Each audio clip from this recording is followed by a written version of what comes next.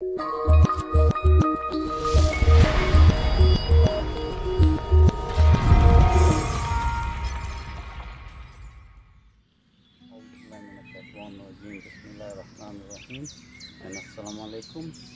how are you my friend आप सबको शेख शेख की तरफ़ से बकर ईद मुबारक हो।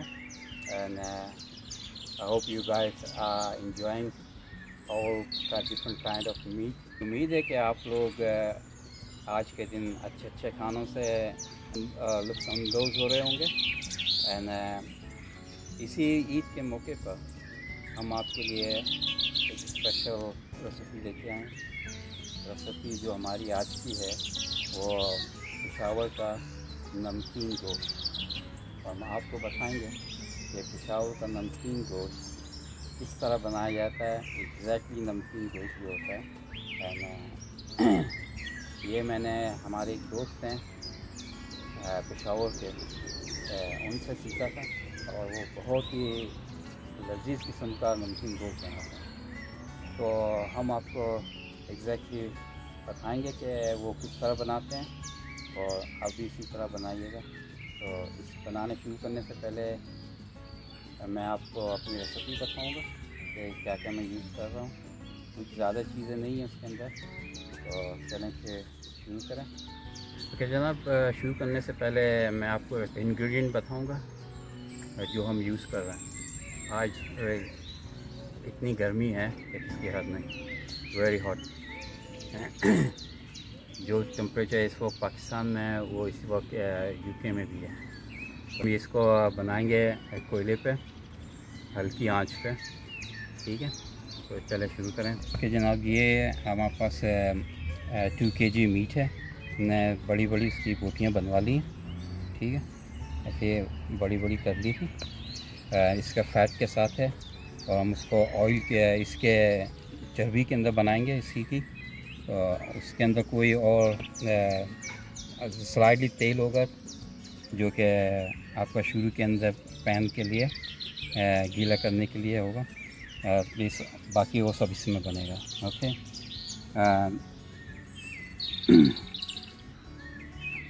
ये हमारे पास टमाटो प्यूरी है। यूजी ये डालते नहीं हैं ये एडिशनल है जो कि आपके नमकीन गोश्त को एक अलहदा किस्म का टेस्ट देगा।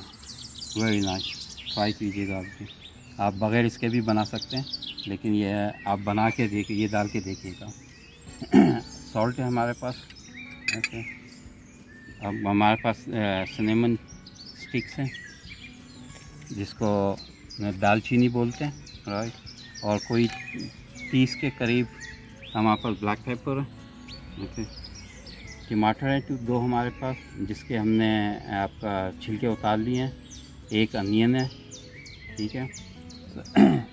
गार्लिक है हमारे पास जिसको हमने काट लिया है थोड़ा सा ग्रीन चिल्ली है लाइम है। जिंजर है और थोड़ा सा हरा धनिया है और हम इसके अंदर आपका पुदीने के पत्ते यूज़ करेंगे। तो मैं आपको बताऊँगा कि किस तरह इसको अपने बर्तन में सेट करना है। चलें शुरू करें। ओके गाइस ये हमारे पास टू टी स्पून सॉल्ट है, ठीक है? जो हम मिक्स कर रहे हैं इसके अंदर, ठीक है? और फिर इसको अच्छी तरह से सॉल्ट को हम मिक्स कर देंगे। और ये आपको पता है कि सॉल्ट लगाने के बाद जो मीट जो है, वो अपना पानी छोड़ता है। ठीक है। तो उसी पानी के अंदर हम इसको गलाएँगे और इसके अंदर थोड़ा सा हल्का सा हम पानी डालेंगे। ठीक है। ये आपने देख, देखा ये, मैंने कितना just one tablespoon oil था, जो कि पैन पे मैंने लगाया था। ठीक है। ओके जनाब ये अच्छी तरह से मिक्स हो गया। इसके अंदर सॉल्ट अब हम इसको लगाएँगे अपने बर्तन के अंदर।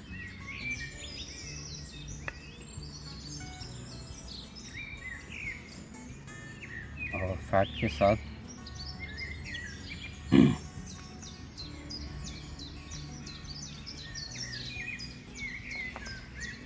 और ये जो है, ये अपने फैट के अंदर ही कुक होगा। ठीक है। अब मेरे पास ये सनीमन स्टिक्स है। इसको मैं इस तरह डाल दूँगा, ठीक है। और मेरे पास ये ब्लैक साबुत काली मिर्चें। कोई तीस के करीब है, ठीक है। ये टमाटर फ्यूरी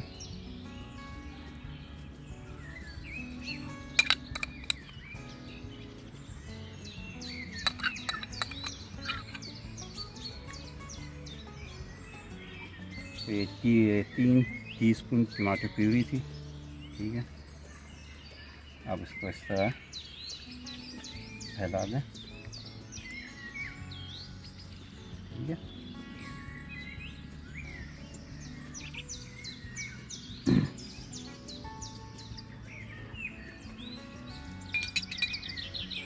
है ये साबुत टमाटर, मैं इसके अंदर साबुत टमाटर ये डालो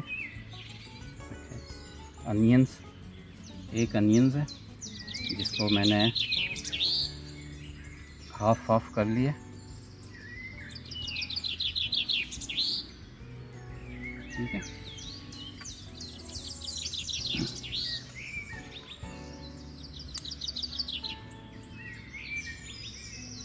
अदरक है। एक स्मॉल पीस अदरक, जिसके मैंने स्लाइस कर लिए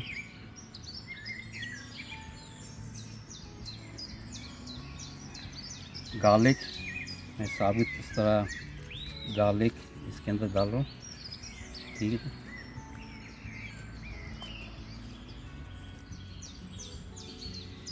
ग्रीन चिल्ली सात ग्रीन चिल्ली है। जो कि इसको फ्लेवर देंगे, क्योंकि इसके अंदर मिर्ची हमने बिल्कुल लाल मिर्ची वगैरह हमने कोई डाली नहीं है तो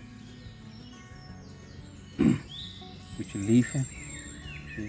ये आपका पुदीने के पत्ते हैं। ये पाँच के करीब मैंने पत्ते यूज़ किए हैं, ठीक है।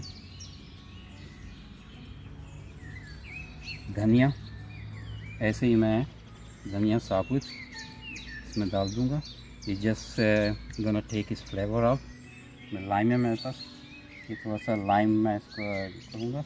और लाइम को भी मैं इसके अंदर ऐसे ही डाल दूँगा। ठीक है? थोड़ा सा ऊपर से ऑयल हम थोड़ा सा इसमें पानी डालेंगे।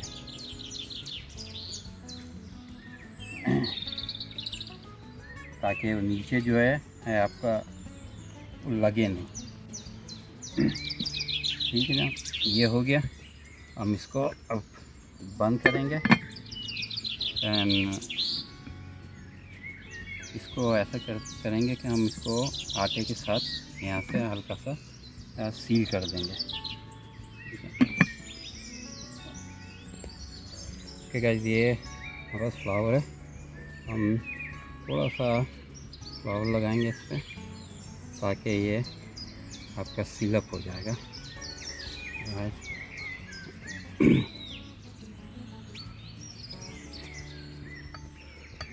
ये हमने फ्लावर लगा दिया है इधर okay. And uh, I put a dough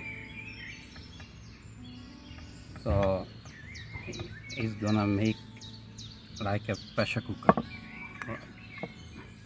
So अब हम इसको बंद कर देंगे। वैसे भी ये बर्तन वैसे काफ़ी वो है। इसका ढक्कन जो है काफ़ी भारी है। लेकिन फिर भी हमने एहतियातन हमने ये कर दिया है ताकि सही तरह से हमारा काम हो जाए। इस साइड की हम सारी निकालते हैं, जो है एक्स्ट्रा ओके गाय ये हो गई सीलिंग अच्छी तरह से केस के ऊपर रख देंगे। ठीक है? और ये तकरीबन दो घंटे तक हल्की आँच पे चलता रहेगा। और शीशे का ढक्कन का फ़ायदा ये है कि हमें पता पता रहेगा, दिख रहा है हमको कि क्या है, ठीक है? तो इन फिर दो घंटे बाद आपसे मुलाकात होती है। Okay guys you can see अब ये तकरीबन दो से ढाई घंटे हल्की आँच पे पकता रहेगा और हम इसको चेक करते रहेंगे time to time okay guys देखते हैं ये कैसा है अभी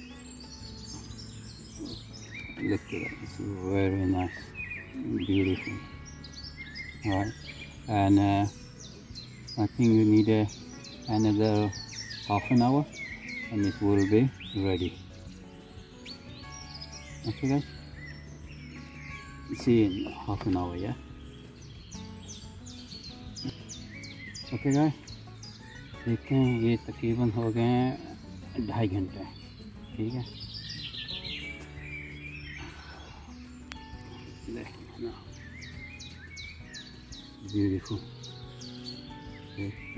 yeah गोश्त देखें, कैसे जला है। आहा, ये देखें, ओहो। और इतना उमदा किस्म की खुशबू आ रही है, यकीन माने आप? इसका रंग देखें। ठीक है? इसको भी, ओके गाय ये देखें, ये शो हमारा तैयार हो गया। और माशाल्लाह इतना शानदार है किस, है ना?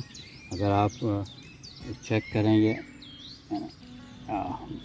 से, ऐसा गोश्त टूट रहा है कि किसकी हद नहीं। और इसका टेस्ट इतना शानदार किस्म का टेस्ट है। आप भी बनाइएगा और कमेंट सेक्शन में बताइएगा कि कैसा लगा आपको। एंड प्लीज़ इस चैनल को सब्सक्राइब ज़रूर कर लिएगा। एंड वीडियो लाइक करें फॉरवर्ड करें अपने दोस्तों को, रिश्तेदारों को, और बनाएँ आप भी, और बताएँ हमें। कि कैसा लगा? यकीन माने सो डिलीशियस आपने इस तरह का ना, मैं बता रहा हूँ आपको, इस तरह का आपने कभी नहीं खाया होगा। इस सो डिलीशियस ये हमारे पेशावर पेशावर का नमकीन गोश है। ठीक है? और ये सिर्फ़ जो बना है देखें ये आपका सब निकल रहा है। और ये सिर्फ़ जो बना है वो इसकी चर्बी के तेल में बना है और हमने इसमें थोड़ा सा पानी मिक्स किया था डाला था प्लीज़ आप लोग भी ट्राई कीजिएगा और बताइएगा हमें okay thank you very much again Eid मुबारक आप सबको हमारी तरफ़ से So friend, I hope you like this recipe and uh, you will get this uh, uh, different uh, recipe every week and if you like it, please uh, subscribe my channel and please uh, press the bell button. And if you got any questions, please ask me any questions so I will be happy to answer you. And uh, if you haven't subscribed my channel please subscribe. And uh, if you have any question just uh, uh type the question in comment so I will be happy to give you answer. Thank you I hope you like this video. Here is this uh, ingredient for this recipe. Thank you